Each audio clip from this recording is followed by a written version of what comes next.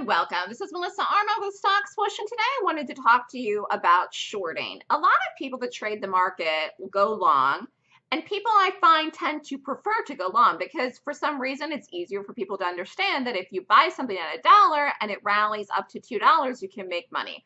But the fact is, you can make money shorting stocks just as easily as you can make money going long stocks.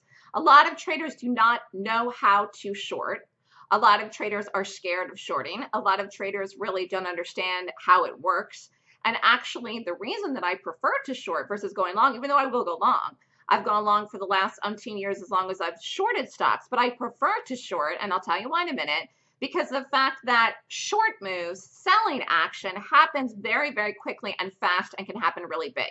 So if you're someone that likes to make money in the market, obviously you want a big move fast versus slow.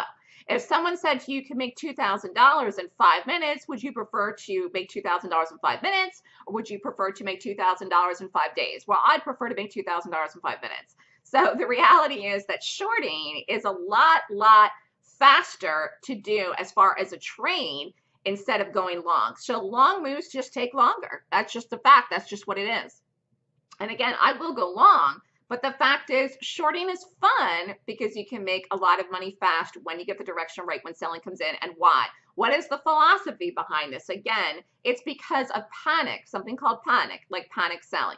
When people are in stocks and they are down in a position, they will sell. They will not hesitate to sell. They will sell sometimes preemptively, but anyways, they will sell and they will not even think about it and they will sell very, very quickly when they're down.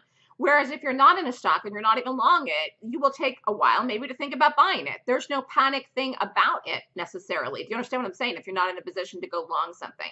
But selling is different. It's very, very different. So as a trader, as an individual, as a person, and if you want to trade too, you can make money shorting. If you do not know how to do it, you should not be scared. You can learn how to do it.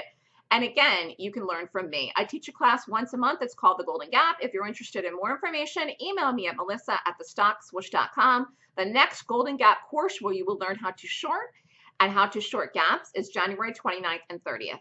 Thanks, everyone. Have a great day.